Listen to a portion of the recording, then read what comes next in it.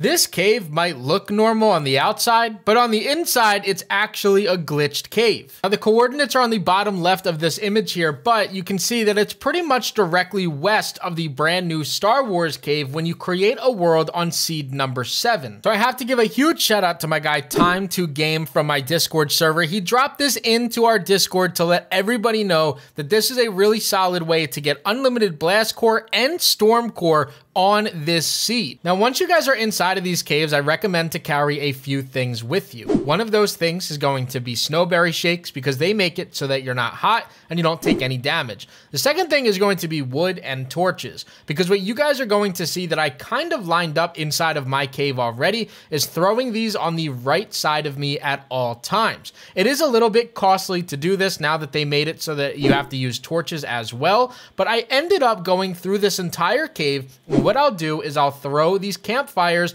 on the right side of every single wall that I see. The reason why I do this is because as I explore this cave to try to find this little glitch area, I now know that these are on the right side of me. So when it comes to leaving this area, all I have to do is make sure that these are on the left side and that will get me to my exit. That way I never get lost inside of these caves. Now it's very important that you find this area directly here. And this is in every single one of this exact cave on seed 7, which is going to have two of these lava falls. This is very important because this seems to be the best area of this cave in order to get storm core and blast core. Once you guys are inside of here, all that you want to do is clear out this area of these shells or these storm crabs or these blast shells, whatever you want to call them. Now, in order to get them to respawn, you're simply going to walk out of that area. You can explore a little bit more of that cave. Just make sure you don't get lost and then simply rotate back into that area. Every single time that you do this, it should go ahead and respawn them to give you even more blast core and storm core.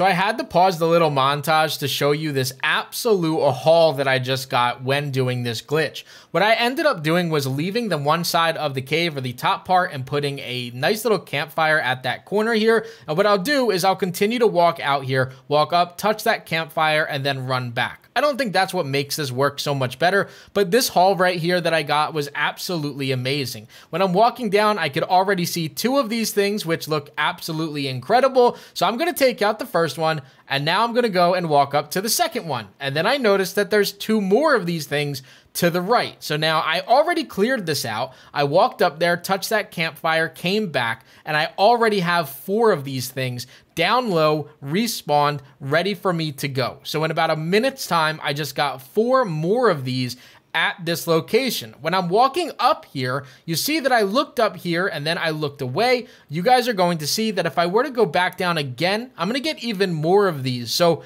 let's just jump right back into the montage.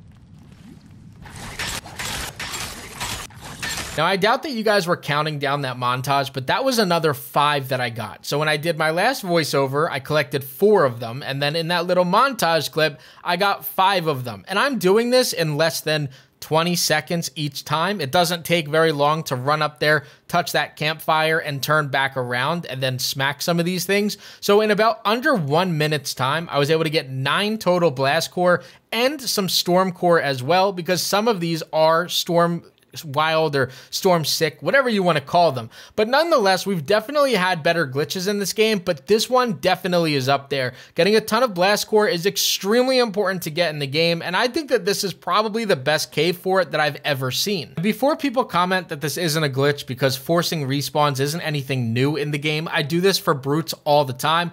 This is definitely something that I consider a glitch. I believe that respawning or forcing a respawn on anything to give yourself an advantage in the game is something that I would categorize as a glitch. I know that not everybody has the same definition as me, but anything in my opinion that gives you a very big advantage that was not specifically designed to be like this in the game, to me, is a glitch, and that's why I will forever call something like this a glitch in the game. Now, the reason why this one is so much better than any other ones in the entire game is because it has five or six spawners in just this one little area. So within like 25 total meters, you have five total spawners that go ahead and give you a ton of blast core. And inside of expert mode, some of these will be storm sick, which is going to give you a bunch of storm core as well. So that's definitely why this is a glitch in the game or one of the best best areas in the entire game to go ahead and farm some of this stuff.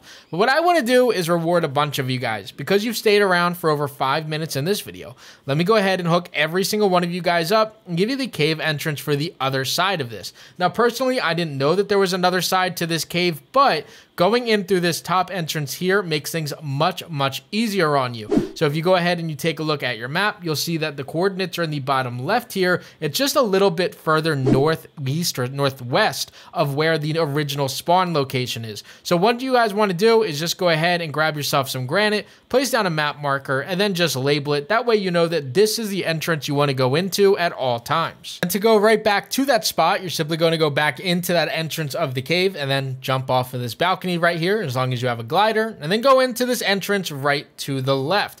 Once again, this makes it extremely easy to grab yourself all of the blast core in the game. I know I've repeated myself a few times over, and I know that sometimes that could definitely be annoying, but I need you guys to understand that this glitch is an absolute lifesaver. It has helped me out so much. I was normally farming three or four blast core every 30 minutes in this game, and now after finding this glitch, I can get three or four blast core every 20 seconds. So this was huge for me and anybody else that's playing inside of the expert mode. This cave is by far the best in the entire game. Not only does it have all the blast core, but it also has a ton of white chests so you can get copper bars and obsidian slabs, and you can find those things naturally on the walls as well. Now to start this video off, I had absolutely no blast core, and I had a decent amount of storm core, but not nearly as much as I do now. After a few visits to that cave, I have 81 blast core, and I have enough storm core to make myself like 15 totems of return. That way I can start to get stacked up on those so I never end up losing my world here in the expert mode. I also have a ton of ruby. I don't want to go ahead and count that, but I believe it's 150 total ruby that I have collected. I grabbed some bright core on my way out, even more iron bar copper bar, as well as some obsidian slab. So at this point, I am honestly really stacked on the Dry Valley stuff just by visiting one single cave. I guess the next thing that we have to try to do is find some sort of glitch or trick that's going to help us inside of the Frostlands biome. But I hope that this trick helps every single one of you guys out inside of your expert or survival worlds as it does work in either one as long as you're on seed 7, which I understand is kind of annoying. But if you guys have any information on any caves that are extremely similar to this on any other world seeds, make sure that you comment them down below. That way you could help out a bunch of other players as well. But I hope that you guys enjoyed this video. Don't forget to leave a like, comment, and subscribe. And as always, guys, this was Crafty, and I'm out. Peace.